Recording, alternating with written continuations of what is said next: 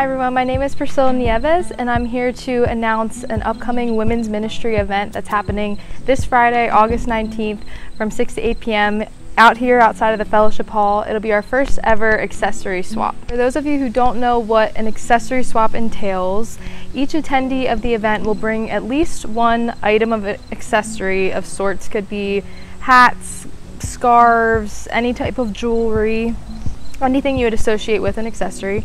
We're not doing a clothing swap, so no clothes, just accessories.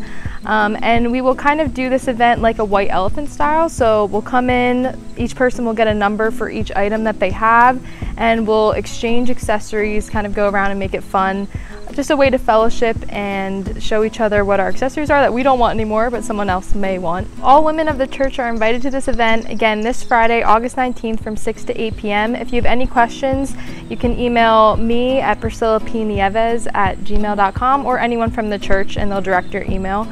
And we hope to see you there.